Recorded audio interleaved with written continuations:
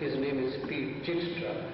He tried his best to get here but unfortunately he had another appointment in Stockholm and he could not come. Uh, there is another gentleman, Dr. Lumre of the Gandhi Center in Brussels. He unfortunately misunderstood the date of the meeting and he came yesterday. In fact, he arrived at this hall yesterday afternoon and with great disappointment he had to leave because he had some other important engagement today in Brussels. Then we got an apology from Srimati Kamla, who is running a Gandhi Memorial Center in Washington. She also wanted to come, but she is involved in Gandhi Jayanti celebration in the USA. Then we had an apology this morning only from Maury Caulfield, who is running a Gandhi Study Center in Ireland. So these are some of the apologies, but in addition we have had a number of apologies from our local supporters who could not come for one reason or another. But nevertheless, we have got, as you see, very distinguished guests here, uh, apart from Lord Brockway, who will, who knew Gandhi personally, who lived in his ashram, and he will describe some of his experiences with Gandhi, but he will also speak in his capacity as co-chairman of the World Disarmament uh, Campaign about the peace and disarmament, which is the main theme of this conference.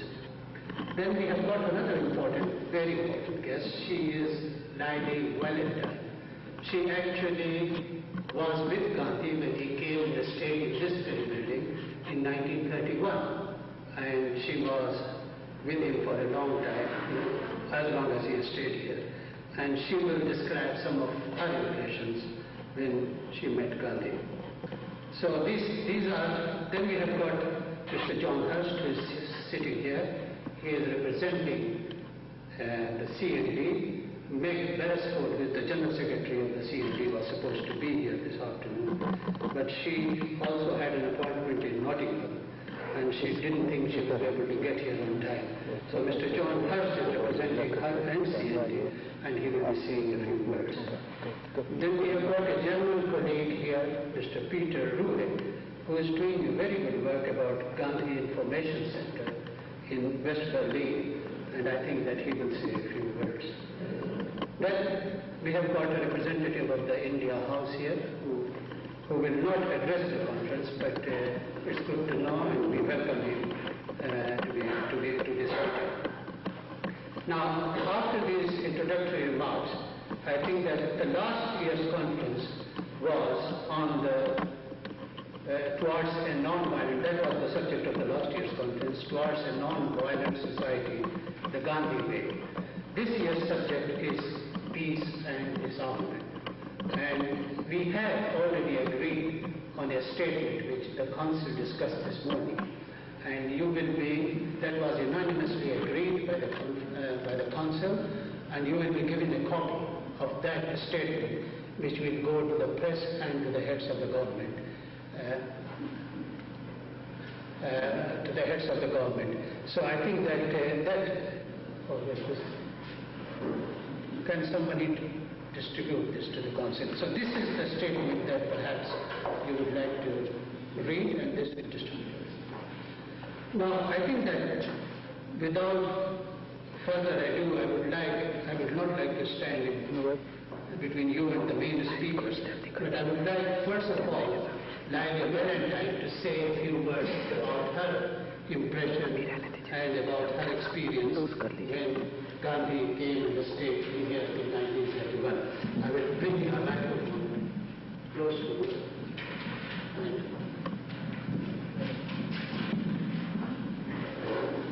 Um, I'm very proud that Pembroke was here today because he was a very old friend of mine and he gave us all hope.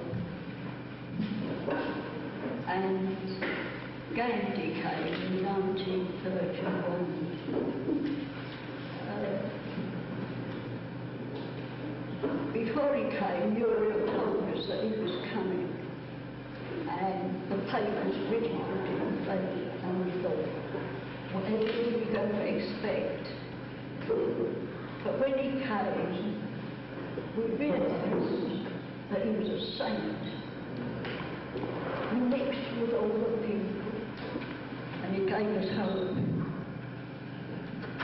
And I'm very pleased that they're going to let a room to the Indians today and a garden that will be in memory of him. So that we feel that he's part of this place. Uh, it's been hard work for everybody to get this place going again. And I hope that I give the people hope and faith. Gandhi was a saint for India and Muriel Lester was the saint for England.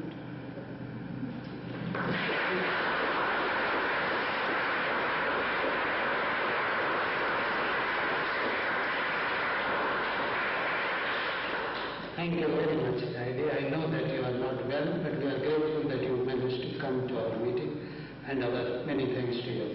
Now, I think the list of the speakers that we have got, uh, Lord Brockway is the second speaker, and his is the main contribution today. But we will also have John Ennals and John Hurst, who will speak uh, on peace and disarmament. Uh, but anyone from the floor who wants to contribute, maybe that you give us your name and we will call you uh, in, the, in the order that you give, give us your name. So please do send your names in and you will be most welcome. Right, now, would you like to stand?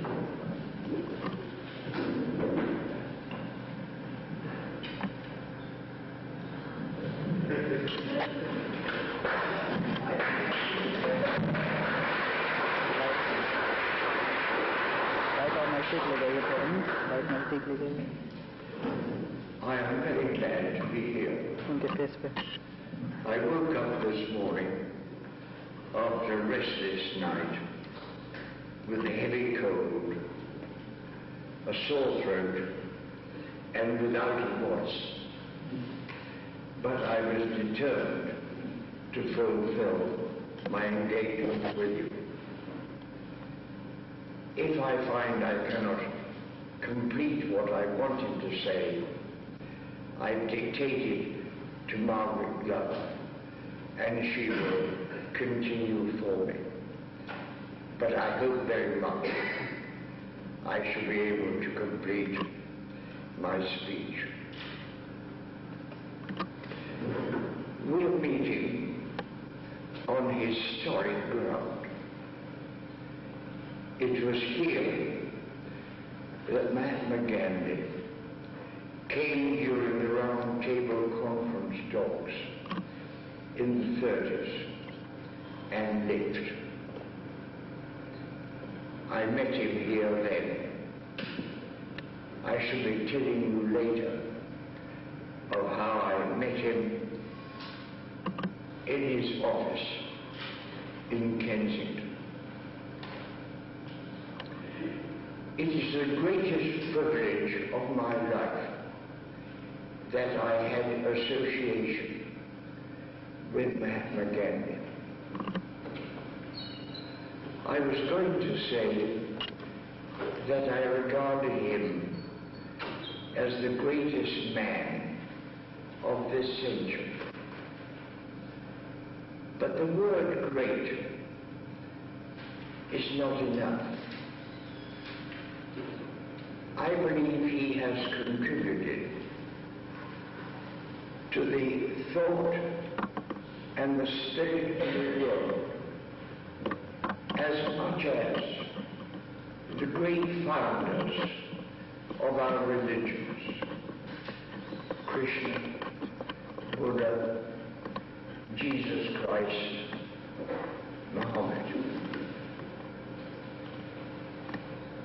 There has not been, following his contribution to humanity, the great religious organizations associated with those whom I've mentioned.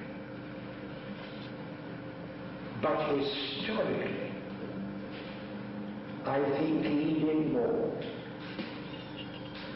for love, human fellowship, by the practice of non-violence than any person in history has done. And I believe, as I shall try to indicate at the end, that he made a contribution which is going to be of fundamental importance in the future. My association with the Mahatma were close. I wouldn't call it friendship because friendship involves giving from both sides. And I could not give to Gandhiji all that he gave to him. But I want to tell you about my association with him.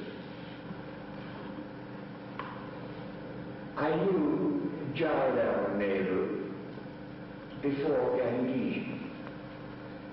Their lives were so intertwined that I must say something about him.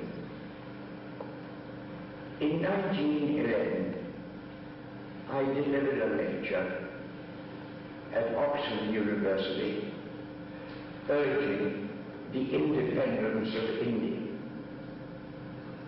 Jawaharlal was there, and we had coffee afterwards.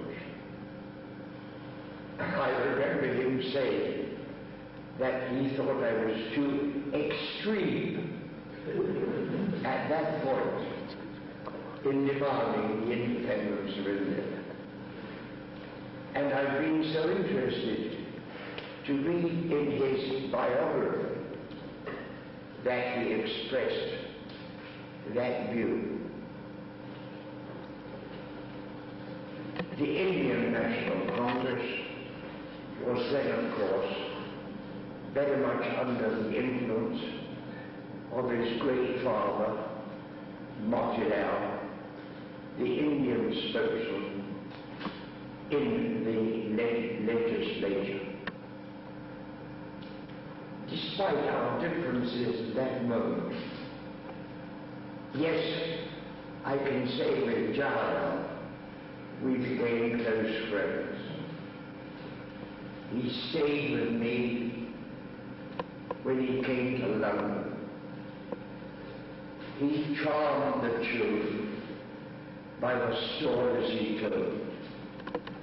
My poor wife had to make tea all night while Jawaharlal and I discussed the problems of the world. He was a great Prime Minister of India's first independence, not only for what he did for India, but the way he identified himself with the struggle for all colonial freedoms, all colonial peoples, for the freedom which India had done. In 1925, I moved the resolution at the Labour Party conference, which committed the Labour Party to independence for India. I then had an invitation jointly from Jawaharlal Nehru and Mahatma Gandhi to attend the conference of the Indian National Congress at Madras, Christmas 1927 and the New Year. Unfortunately, I was amazed when the day before the conference opened to visitors sight. The Indian National Congress was so strong representing the people of India then that a whole town had to be built to accommodate its delegates. A hall specially built with 7,000 delegates. A railway line specially made for it. I was astounded by the obvious way in which the Indian National Congress represented India then. Unfortunately, on the eve of the conference, I was smashed up in a motor accident and broke my thigh. And I did not get to the congress. But Jawaharlal and Gandhiji came to see me, even with all the duties of the con- conference, every day at my hospital in Madras. I shall never forget one experience which I had.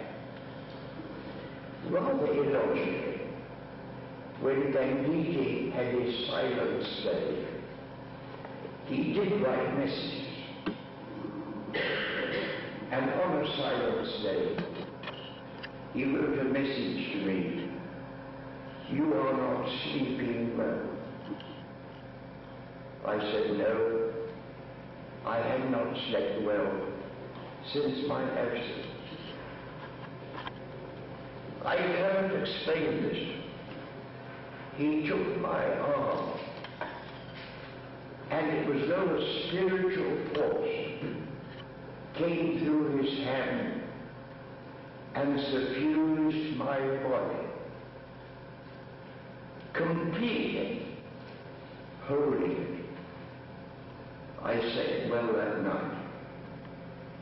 And I said, well, in our afterwards, I cannot understand that, but it showed the extraordinary spiritual value that there was in Gandhi.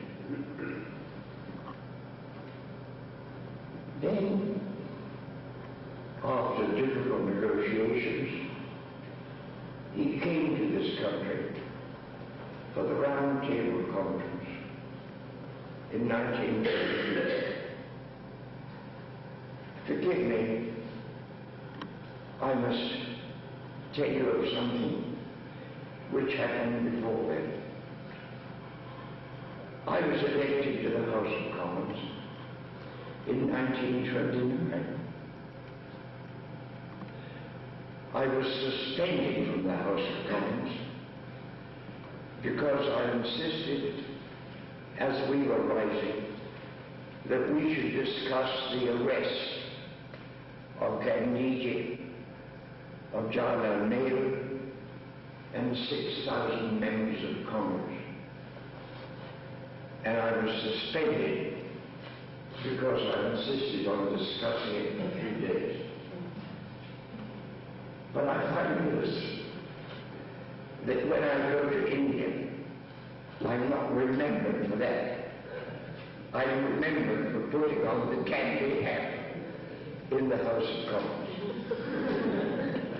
Indians were being arrested because they wore the Gandhi cap. I showed it to the House. The Tories shouted, put it on. And I put the Gandhi cap on my head in the House of Commons, asking if I would be arrested. I'm not sure whether this is the Gandhi hat. Gandhiji gave me a hat, and I've now placed it with the Indian Cultural Centre in Kensington. During that period of 1930, I was appointed as Joint Secretary of the British Committee of the Indian National Congress. And Vallabhbhai Patel, who had been Speaker in the Indian legislature, came to me and said that Gandhiji wanted some research done on the practice of nonviolent cooperation in other countries. I undertook to do that research. It's interesting that I found that the greatest pattern of nonviolent cooperation had been advocated by a man named Griffiths. You'll find this difficult to believe, in Ireland. He had laid down the whole pattern of nonviolent cooperation. And Gandhiji wrote to me and said how valuable my research was in the practice of nonviolent cooperation in his urging it in India. So I come to his visit in 1932. He lived in this hall, but he also had offices in Kensington. I saw him here. I went to see him there. A bare room, no carpet, no wallpaper, no furniture, just a spinning wheel in the middle of that room. And he sat one side of it, and I sat another. I've only once seen Gandhiji angry. He became angry by the treatment threatened for the untouchables. The discussion at the Round Table Conference suggested that there should be a separate electorate for them in India. He repudiated it. It was a recognition of the untouchables was something sacred. And he entered Spain wheel and gestured with anger in protest against that proposal. As a matter of fact, when he went back to India, he declared a hunger strike to urge his view a compromise was reached. The untouchables were not to have a separate electorate, but they were to have a quota membership in the legislature. Oh, but I remember that conversation for much more than what he said about the untouchables. I said to him that I regarded the ethics of Christianity as the highest among religions. I reminded Gandhiji of how Jesus had said, love your enemies. Very quietly with a smile, Gandhiji replied, I have no enemies. I asked him about his religious views. He responded for asking for mine. I told him that the greatest inspiration in my life was a feeling of identity with the spirit of the universe, especially among the beauties of nature. I felt a part of the whole spirit of the universe. In the present, from the beginning, in the future. But I added that I was an agnostic about the existence of a personal God and about individual continuing after death. I shall never forget Gandhiji's reply when I said to him, if there is a personal God, who created God? And this was his reply. Fenner, we are finite individuals. We can only speak from our own experience.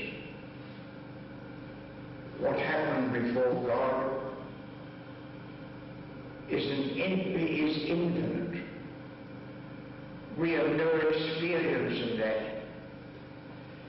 But thousands of people of every religious community have had the experience of communion with God.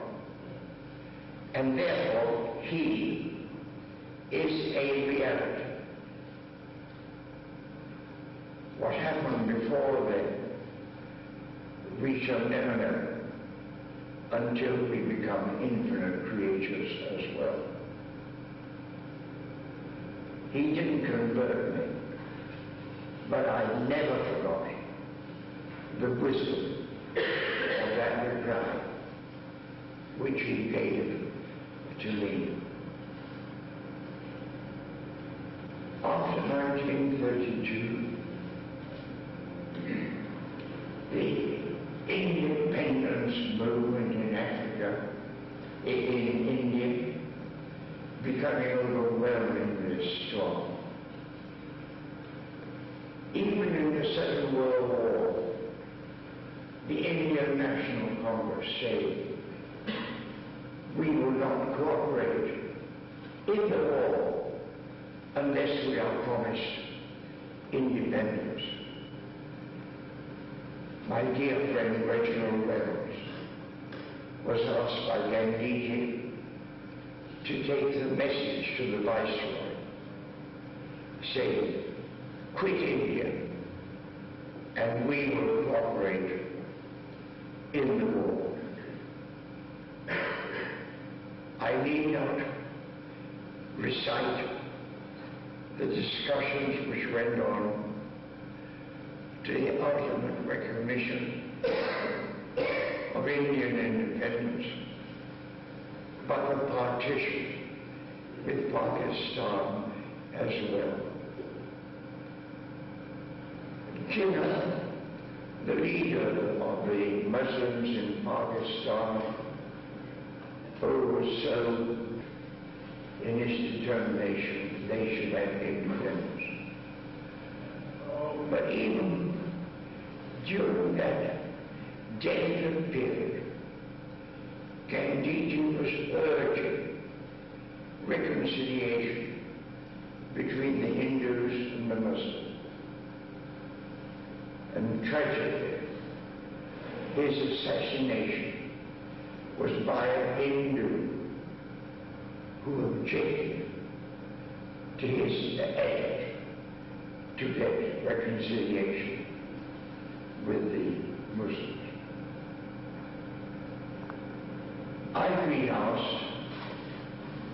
To suggest what might have been Gandhiji's contribution today if he had still lived.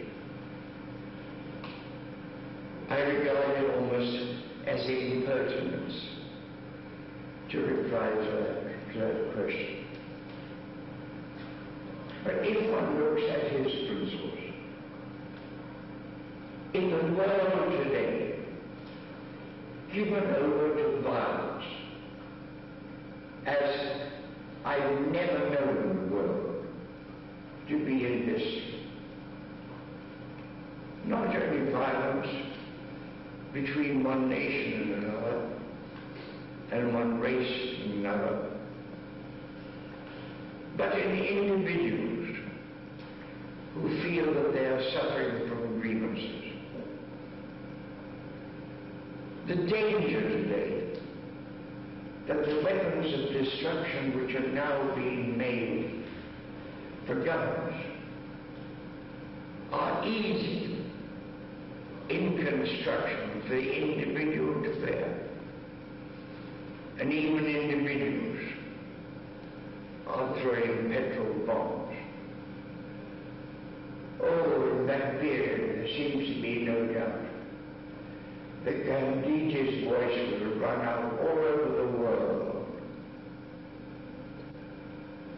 saying we must pass from this stage of violence into a stage of cooperation and love between peoples and nations.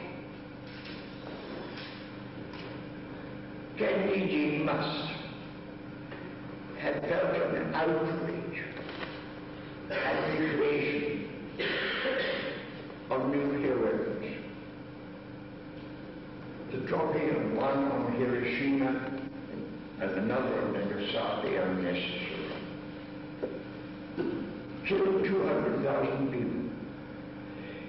Do you know that a committee of scientific experts reported to the United Nations five years ago that a bomb has now been made 4,000, 4,000 times as destructive as the weapon which fell on Hiroshima. One bomb able to destroy the whole life of Greater London. I've asked myself, what would Gandhiji do in those circumstances?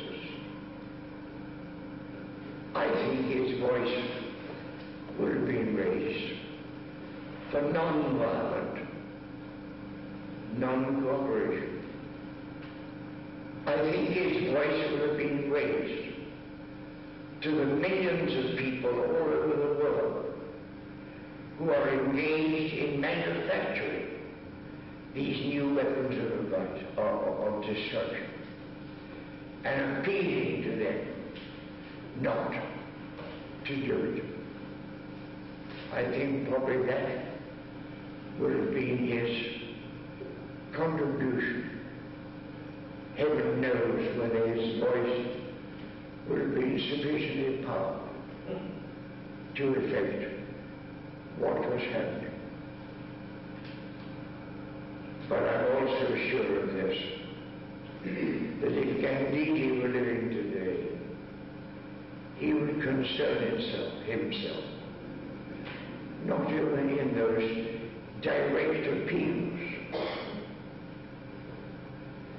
Do you know Gandhi's philosophy is now being increasingly adopted adopted by the peace women, women and Greenham Common, adopted by the Quaker's admiration, non-violent, non-cooperation, in a course which is against their conscience. James Adventist of non-violent non-cooperation with governments practicing tyranny is the answer to all violence in the world. It would be the answer if it were accepted by the African people in southern Africa. It would be the answer if accepted to even victory for reactionary forces in war. If the peoples organized non-violent, non-cooperation, they could prevent in their own territories any imposition of regimes by an outside force. His is the answer. One has to face the fact that today so little respond. One of the most wonderful things of Gandhi's contribution to India, with all its opposition to the British occupation, I have no enemies. He loved the British as human beings. And when India gained its independence, contributed so much to reconciliation between the peoples. So here am I, trying to pay my tribute to him, but no words can possibly pay a tribute to what? To the light which he has given to the world.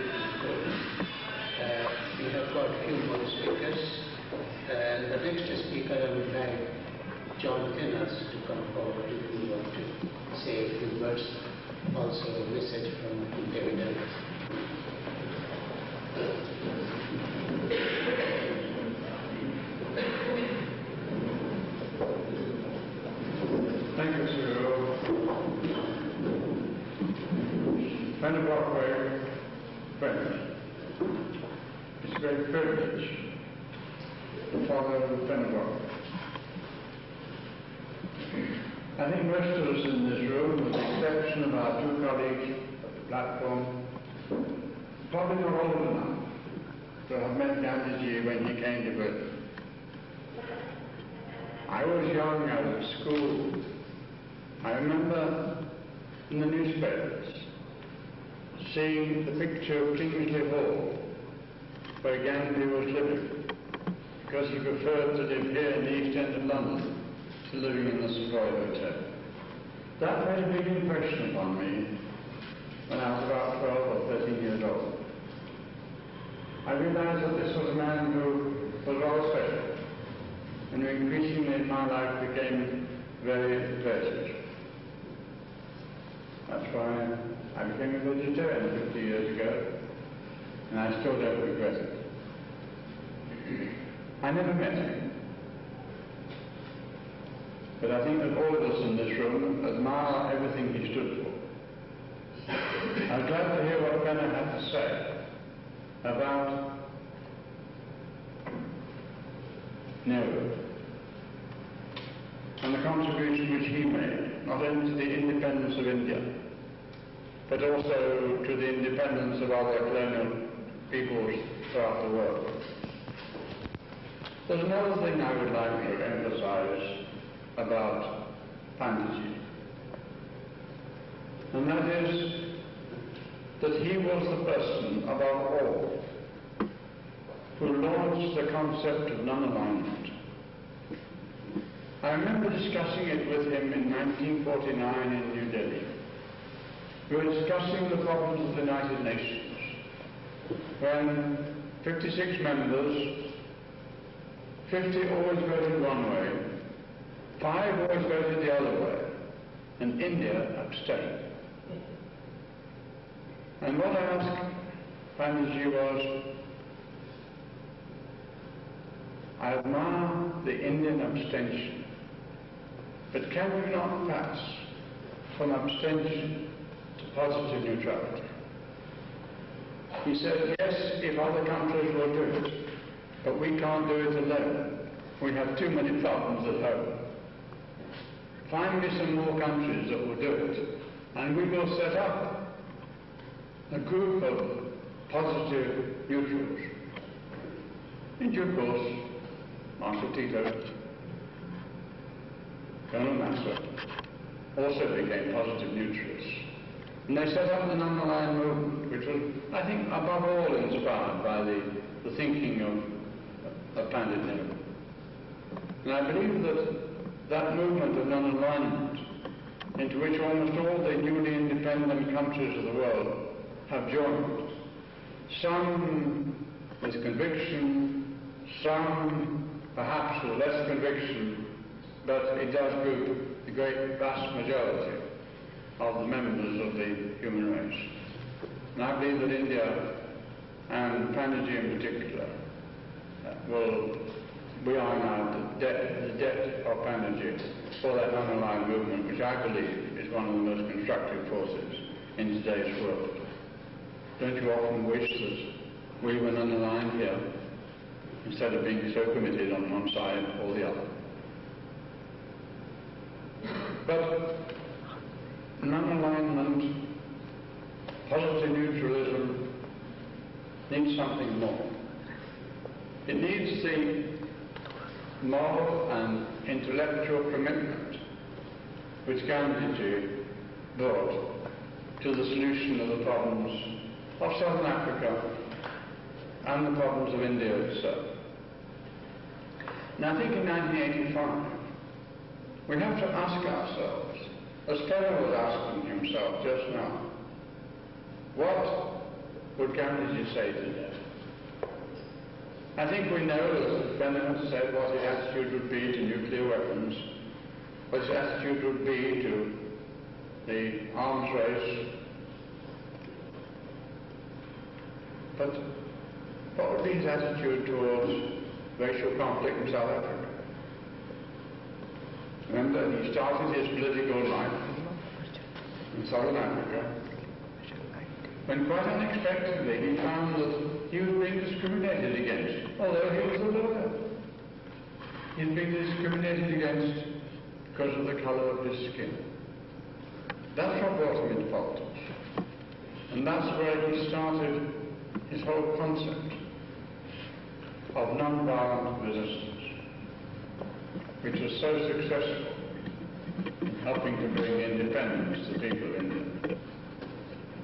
I think in this time, when we think in terms of Southern Africa today, there's a violence which is escalating, both from the government and from those who are quite naturally opposed to the government.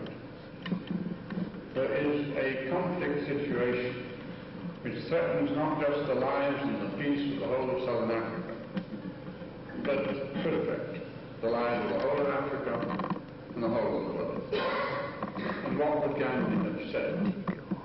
I don't think his attitude towards race in South Africa would have been any different now than it was when he lived there.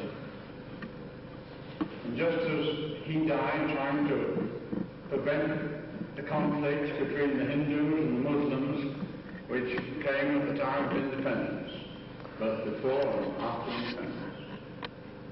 So I'm sure he would be playing, let us say, a Desmond Tutu role in South Africa today. But what about the United Kingdom? What about Toxteth? What about Brixton? What about Handsworth? Tottenham? What about the problems here in the East End of London? Problems that could arise in so many of our inner cities. I think there's a Gandhian message. And I think it's up to those of us who are committed to the Gandhian ideology, the Gandhian concept of life, of non-violence, to try and find a way in which these problems can be resolved by non-violent means. It's one of the most difficult, going to be one of the most difficult things to do. When Gandhi was dealing with the British Army in India, he was dealing with an army of occupation. And he was dealing with nationalists who wanted independence. The situation here is different.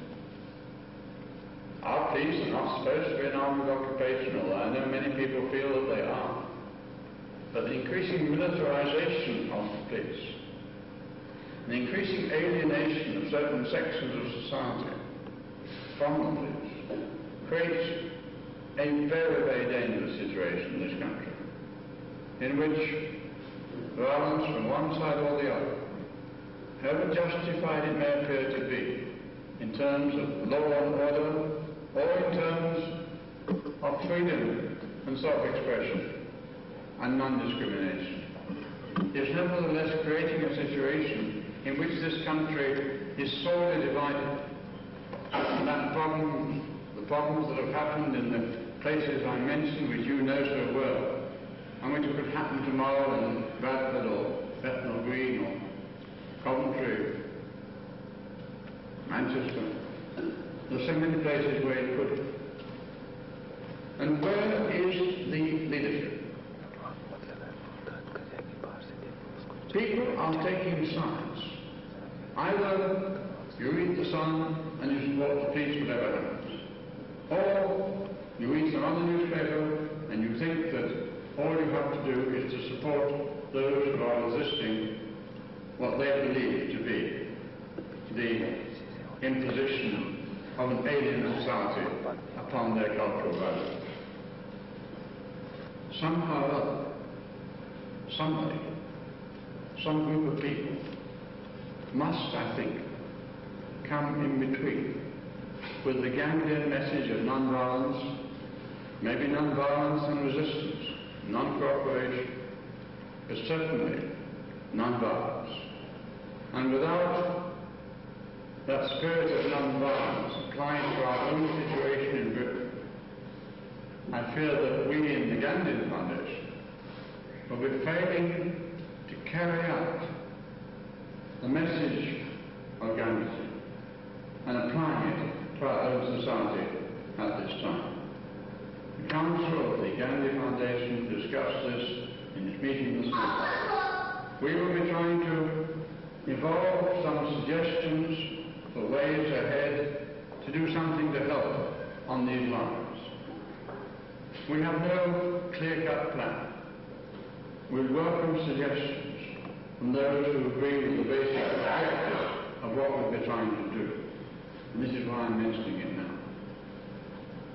But I do believe that there is a role to be played We don't have a Desmond Tutu. We don't have a Gandhiji. Maybe we should find one.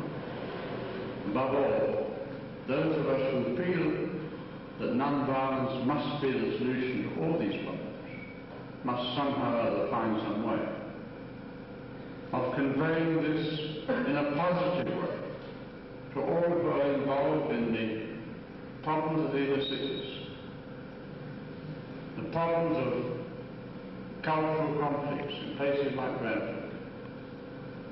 We've got to learn to apply those principles as Gandhiji applied them in South Africa, as Gandhiji applied them, and as Gandhiji died before them in India. I hope that from this meeting we shall go back and think and come up with ideas, and that the Council of, Gandhi, of the Gandhi Foundation will give us some leadership so that we can make a contribution to a peaceful solution in this country of the problems which seem to be almost inevitably about to envelop us. I believe it can be done. And I'm sure that in this room there are many other people who could do so much. And I hope we shall. Thank you.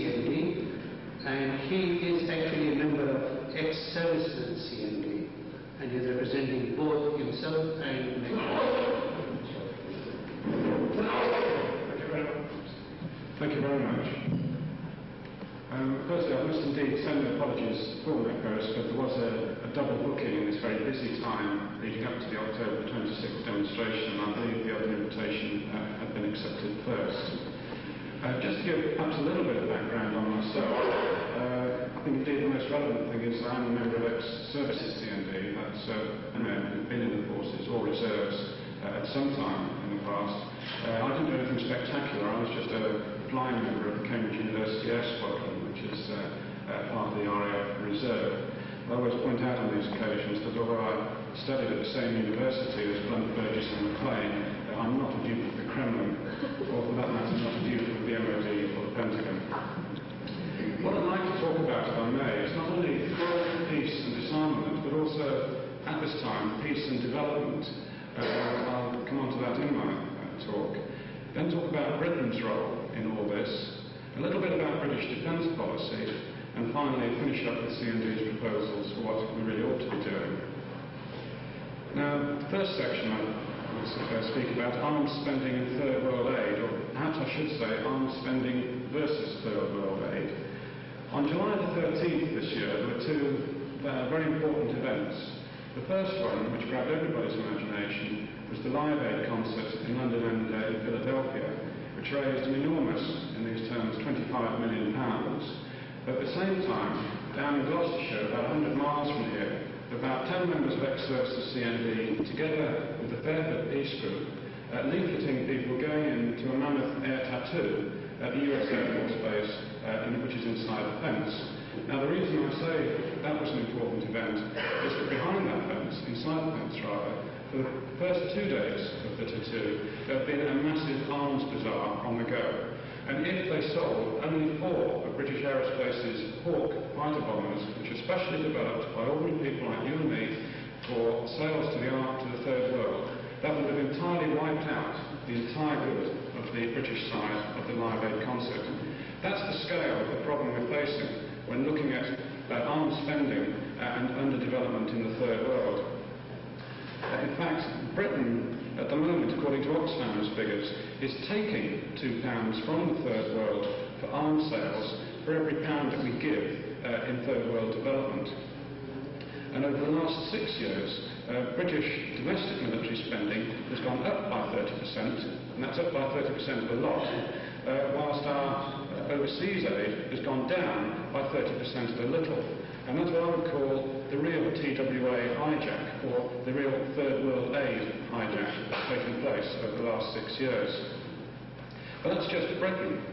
Worldwide, there's about one and a quarter thousand million pounds spent every 24 hours, whilst in that time, 10,000 people die for lack of a mouthful of water or a handful of rice.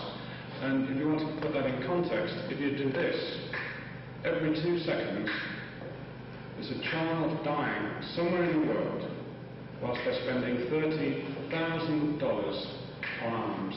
That's the scale of the equation that we have to write. Now, what I find perhaps the greatest obscenity uh, when we see our leading politicians on television is this awful claim that we've had peace for the last 40 years.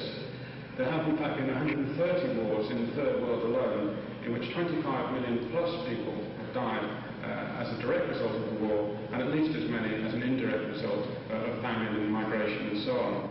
In fact, as the musician Spartacus R puts it, there has already been a Third World War. It's been a world war fought in the Third World. And the, the danger, of course, is that that will then spill over as we stoke the fires in the Middle East, selling uh, tornadoes to Saudi Arabia, which Israel will probably blow up as soon as they're delivered. Uh, by stoking those fires, we're probably starting the spark that will come back to, to hit us here as we think we are safe in the north.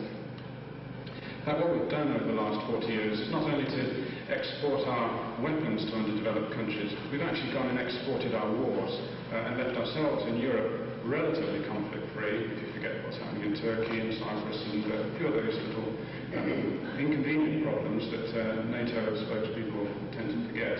Uh, and uh, we've carried out those wars by proxy in the third world.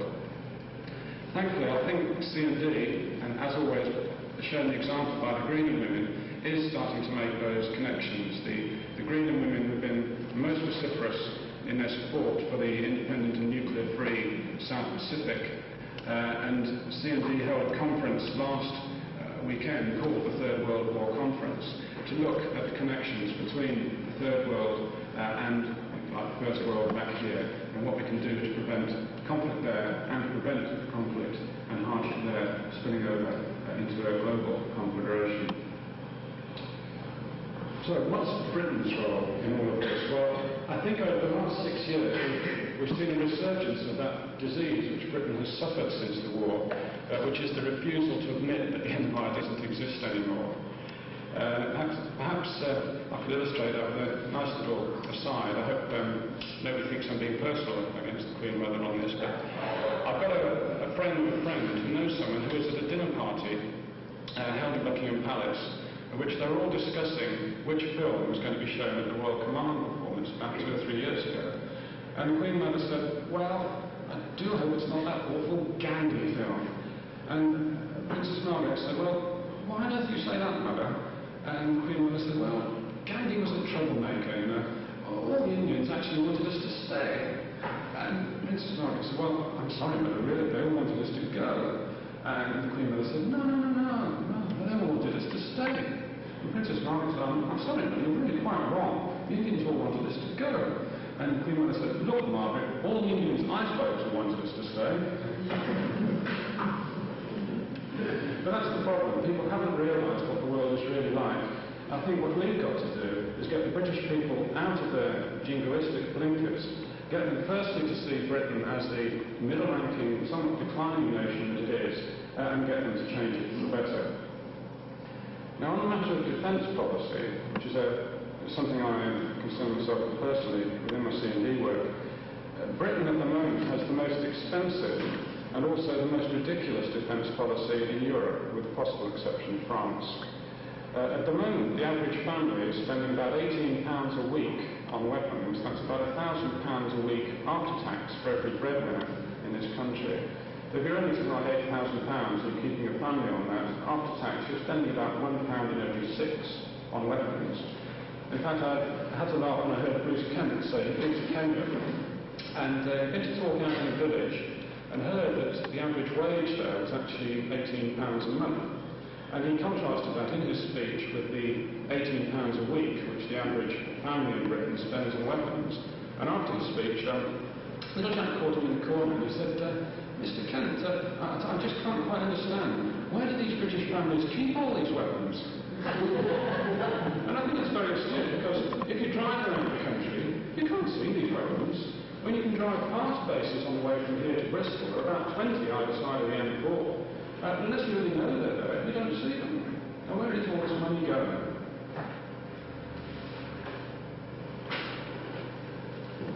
In fact, it's another contradiction that despite this bomb supposed to the peace, British servicemen have been busy, that's the word, around the world almost continuously uh, since the end of the Second World War. And again, that's something we also share with France, uh, along with our nuclear status, uh, is a record of meddling in other countries' wars uh, since 1945.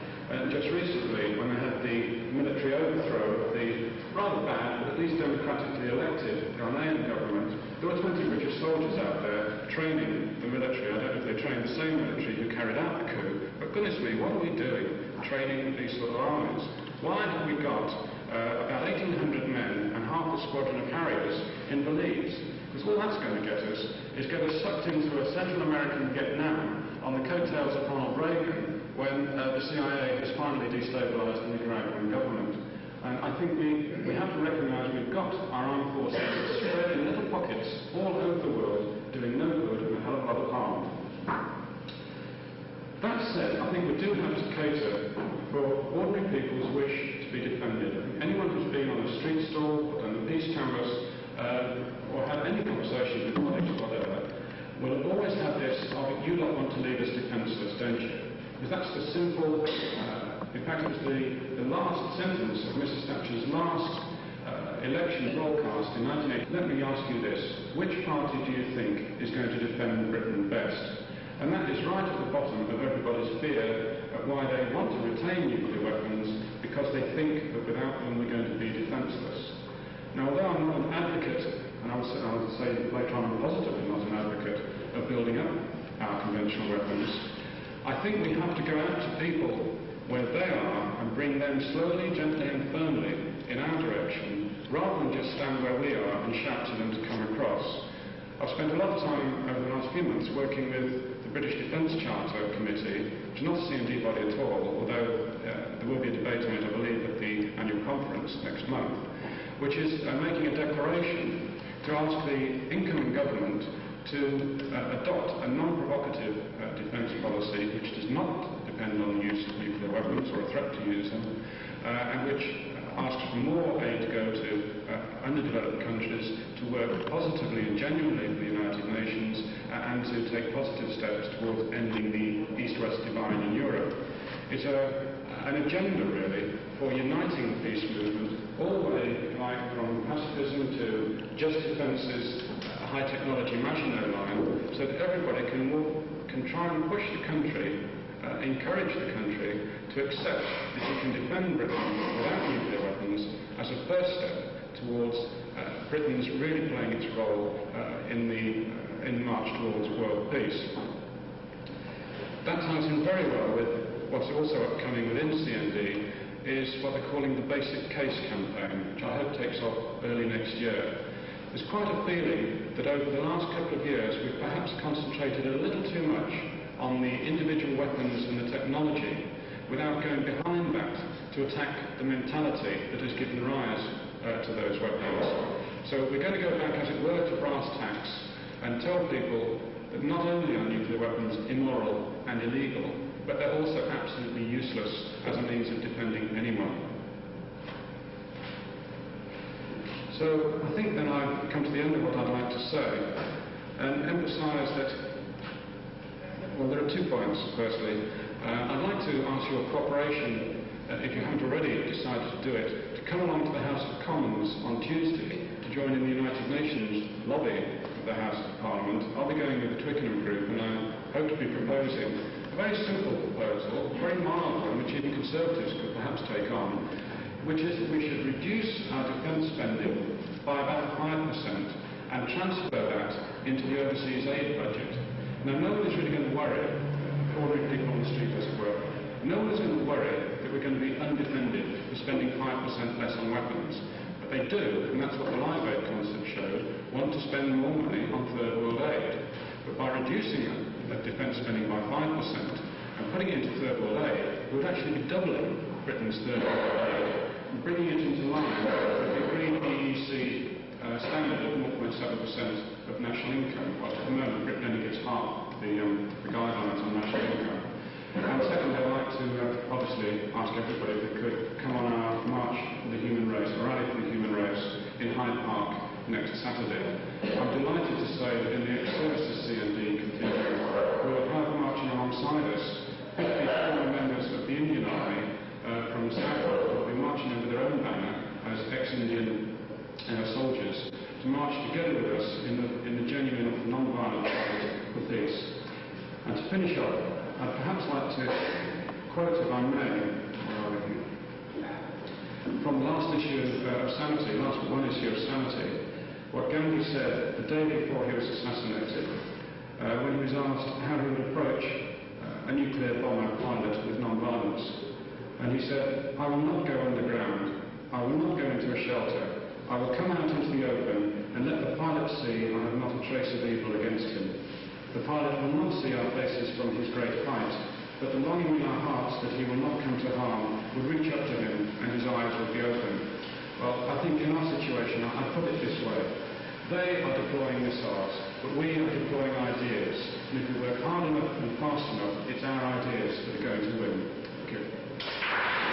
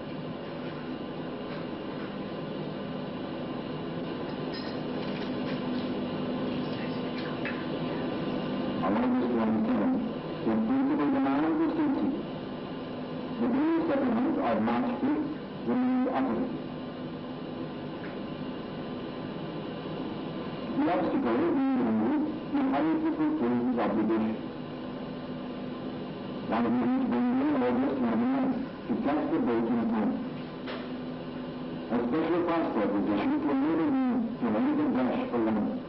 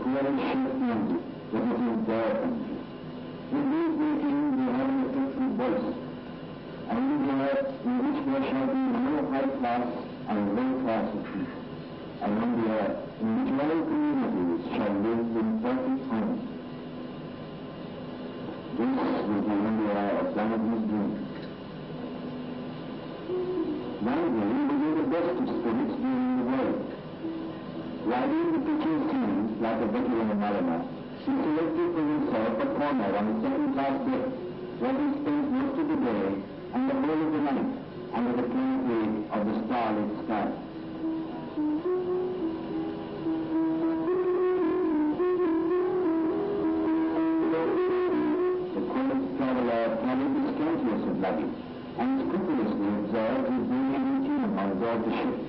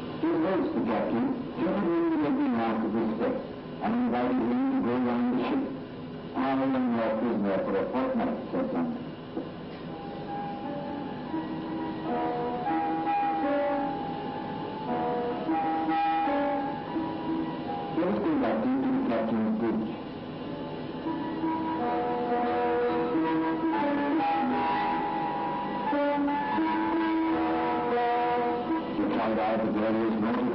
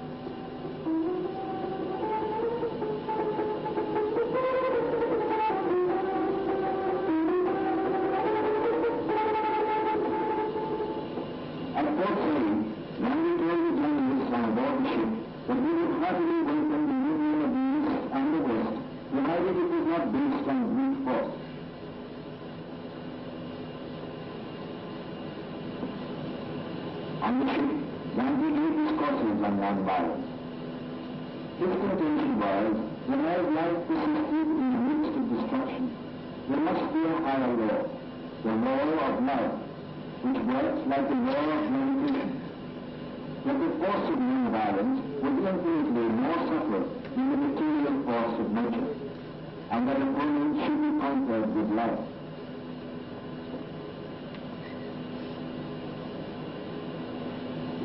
What we have in these words is a day an assistant who not merely relieved me of much of his beauty and but with his keen intellect and tireless capacity to work at his disposal.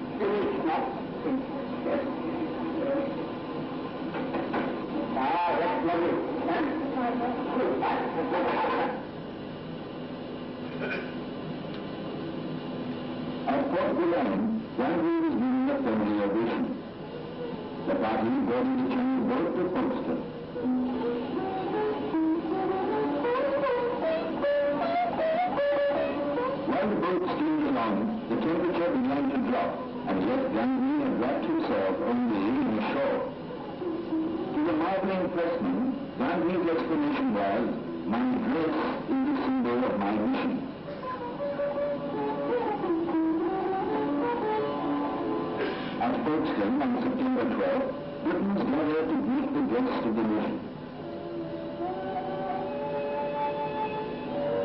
we meet in Buddhist we go the hard task ahead. I am here to vindicate the honor of India and to uproot truth as I see it, for I believe it is the keystone of life.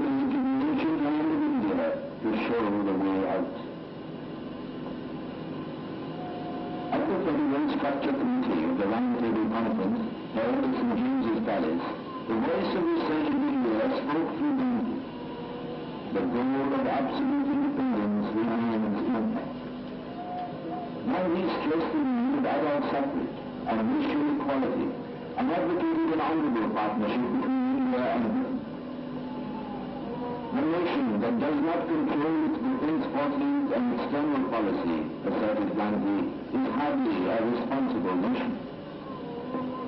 This has a warning. A nation of 350 million people needs simply a will of its own to say no, and that nation is today learning to say no.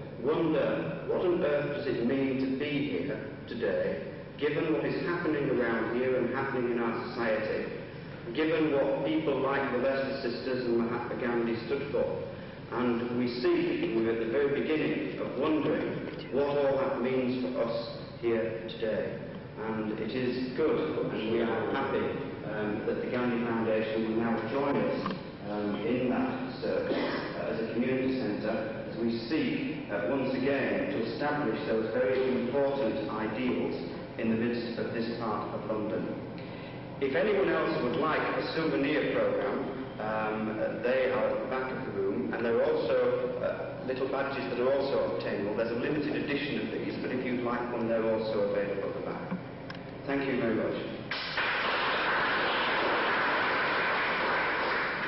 I ought to have said something else, but you took me by surprise. One of my daughters worked here in Kingsley Hall, I think for a year, and was very closely associated with the woman who spoke, spoke earlier. And therefore, my associ- family association Kingsley Hall is very close. Thank you so much.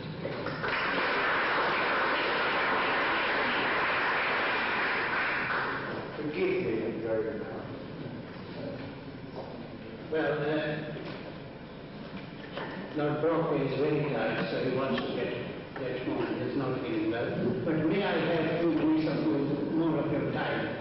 The last speaker is Margaret Henson, and then don't forget that you have to adopt the statement on uh, the con- conference statement which has been approved by the by the council. So Margaret Henson, yes, please. Yes. I won't keep you very long, but I feel moved to say a few words in memory of Lola Leslie. This is my second visit to Kingsley Hall. Um, I came here in 1940, having met Lester at Woodford, the Plato Study Center, and we immediately became very close because we both loved Gandhi. She had at that time met Gandhi, I had not as yet. And I came here and looked around, and in 1969, during Gandhi centenary year, I was involved in some of the activity. Uh, and the monthly was meeting Mirabehn, uh, Slade's daughter. You may not realize that there, there are very many photographs in the bit we have seen. Uh, she accompanied Gandhi on this trip. I think at the time it was thought quite useful to have the English devotee with her. And uh, she was very amusing about that time at Kingsley Hall with Gandhi. Namely, Gandhi did not only live here, but he had brought his. And it was Mirabehn's job to look after the gold on the roof garden of Kingsley Hall. Um, I just thought this light touch by when I thought I was terribly happy that Kingsley Hall is giving a home to the Gandhi Foundation. I cannot think of a better place in all of Great Britain for it. And I said I wanted to express this. I would also just like to make a small comment on Fenner Brockway's statement when uh, he said maybe he was on the close side of Gandhi. Gandhi, at another, on another occasion, said he, he had no enemies. But I spent a week with Gandhi the last year of his life at Sebakan. There is no doubt about it. You could not meet and be with Gandhi without becoming friends. So when Gandhi was assassinated, and Nehru announced on the radio the light of India has we all they had lost very close dear friend. Thank you very much.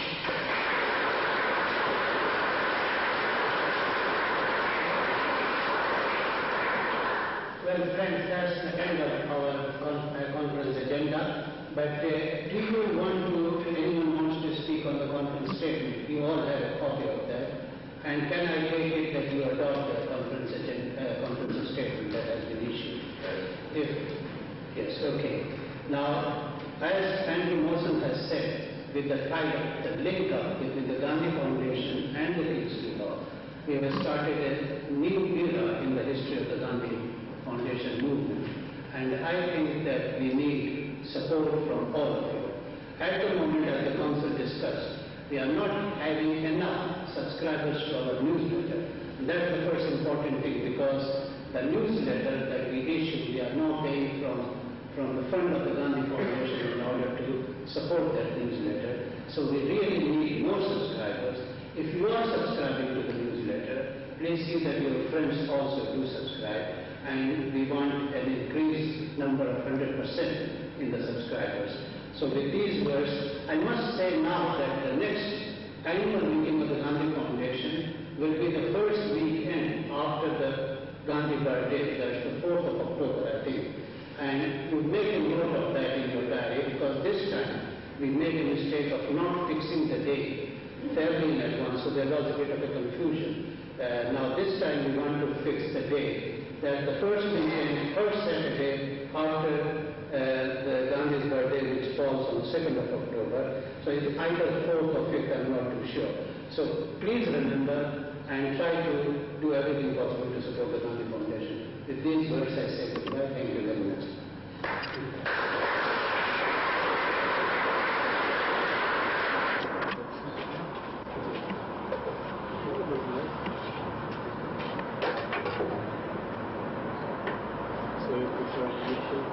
Yes, we just take it short together with the, with the meeting. He has got the meeting there.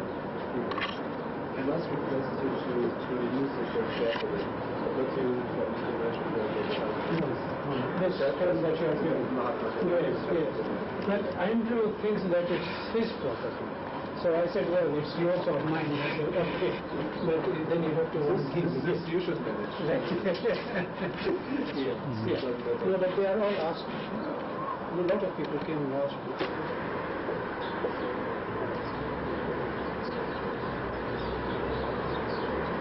Exactly, there is a tree. That tree that was इधर आप देखिए मेरे साथ चलिए फिर चार बार कर